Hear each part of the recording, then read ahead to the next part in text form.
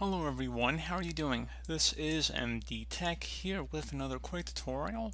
In today's tutorial, I'm going to give an overview of the Safari web browser settings on your MacBook device. So this should hopefully be a pretty straightforward tutorial, and let's go ahead and jump right into it. So first thing you want to do is go ahead and open up the Safari web browser.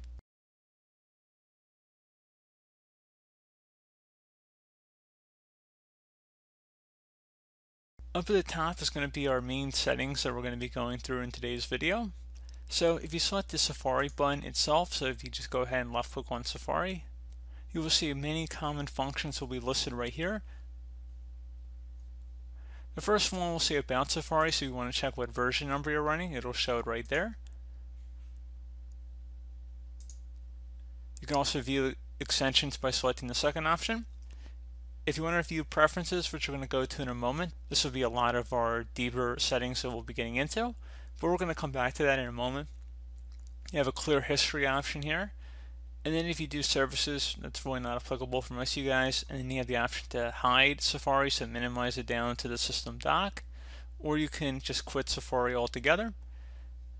If you select the preferences button, just going back to the earlier setting, you see there are many different tabs here which should cover most of the settings you'd want to cover.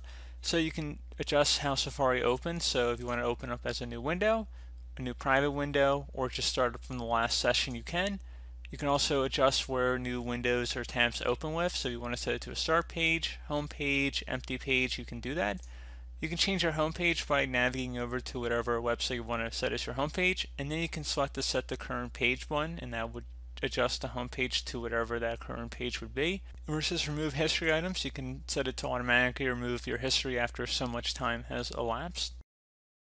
You also show your favorites in a certain icon, so you can see there should be a favorites button that or a star icon. The default file download location, you can see it's set to automatically go to the download folder.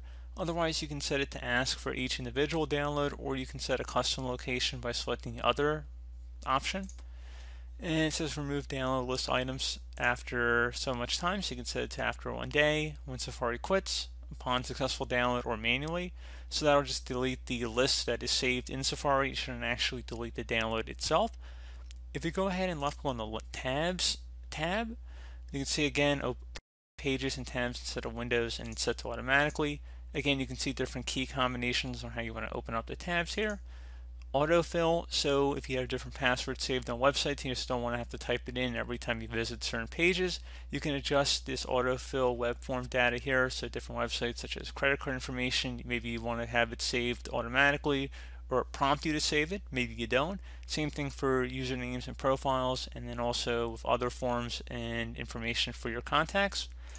Password option, you're going to have to go ahead and enter in your password of your computer here and then hit enter. So any website passwords you have saved would be listed in here, which you could delete or add depending on what you want to do. Again, this will go tie into the autofill form data, so if you have it saved, it probably will be in here as well. Go ahead and select the search tab. We're going to go on to the next option here. You can see which search engine you want to set your Safari web browser to use. You can also include search engine suggestions or you can uncheck it. If you know which engine you want to use, you might not need to keep that check marked. And smart search field, you can keep these options selected as well, depending on what you want to do. Next tab is security. So fraudulent sites, when you visit a fraudulent site, Safari uses the Google Safe Browsing to identify fraudulent websites. I don't see any reason why you'd want to uncheck that. And then web content enabling JavaScript right there. Privacy, if you want to prevent cross-site tracking, that's enabled. And then you do not probably want to block all cookies because websites actually need them, so that's why it's uncheckmarked there. Websites option, you can adjust websites to allow different app permissions on your computer, such as with your camera or microphone. If you want to allow, say, Google Hangouts to access your camera or microphone, you may have to adjust things in here if there's some sort of issue with the browser not allowing such access. And again, this is extensions. You saw we had a shortcut in the beginning of this tutorial. None are installed. And you can select the more extensions button down there to go to the extension store if you choose to do so. Should be a whole bunch of extensions to pick from. And then there's an advanced button in here. Smart search field. Again, that was going back to something earlier we looked at. You can change the font size, accessibility through there. Uh, style sheet, probably wouldn't recommend really changing any of this to be perfectly honest with you. And if you wanted to show developer mode in the menu bar, you can. Otherwise, we're just going to keep that unchecked there. And if we head over to the File tab, we have other options here too, such as opening new windows, private windows, new tab. If you want to open up a specific file in the Safari browser, so it would just launch it in the browser, you can do that. You can also close this window or all Safari windows through there too. And you can import or export bookmarks from other websites as well. Select the Edit tab, you can adjust your spelling and grammar settings here. You can find a certain search if you want to do find and then Google search. It'll open up a new search field up here at the top. Just start typing in whatever you're searching for. It doesn't appear to open up a new tab. And let's head over to the Edit tab now. You can go ahead and paste in. So you can copy and paste. And then you can select all on a page, all the text. Find certain words again. You can also add different emojis and symbols by selecting that and give you a clipboard to go ahead and do that.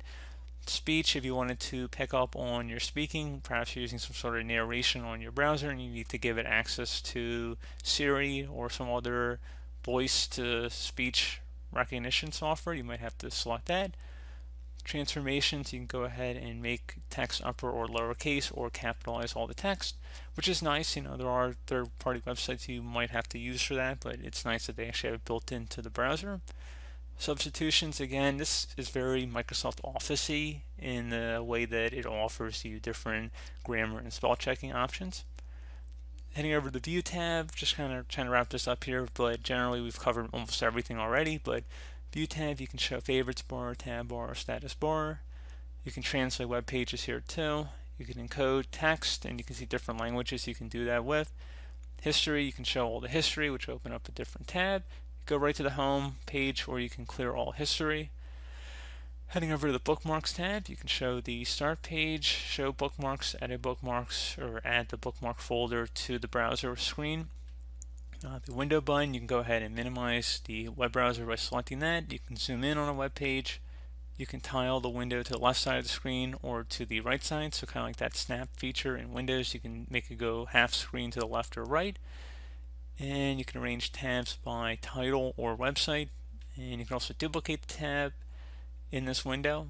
And then finally the help, you just go ahead and view acknowledgments, Safari help page, that kind of thing. Just doing a quick look at the browser itself, you have your close button, your minimize button, enter full screen button, and then over you have a reader mode option here or show sidebar. Go ahead and click on that. You can see favorites in here and any reading list items as well. This is your back and forward button. If you were on a web page and want to go back to the previous page, you select the left one. If you want to go to the right, it would be the following page. This little badge icon that's a security. It'll tell you if this website is secure or not.